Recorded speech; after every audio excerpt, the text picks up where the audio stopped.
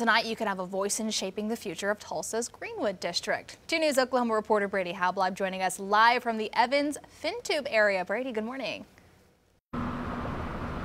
Hey, good morning, guys. Yeah, the city wants to make this area the next major destination here in Tulsa. It's about half a mile from downtown on an 11 acre property just on the east side of the Greenwood District. Now, the site includes the USA BMX headquarters, the Oklahoma Ironworks building seen in this picture right here.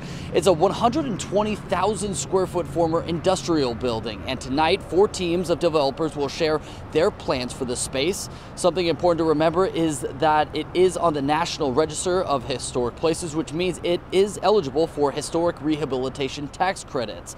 The site also includes several acres of undeveloped land fit for multifamily housing and hotel space. And tonight, each team will present their ideas, building plans, and public engagement opportunities this project will create. From there, community members will be encouraged to share their opinions and ask questions as well. If you're interested in being a part of tonight's meeting, you can do so in person or online, but you do need to sign up ahead of time. We'll have a link to that on our website, kjrh.com. Meanwhile, I will be telling you what their goals are for this upcoming project. We'll talk about that coming up in our next half hour of news. For now, live in Tulsa, Brady Halbleib, 2 News Oklahoma.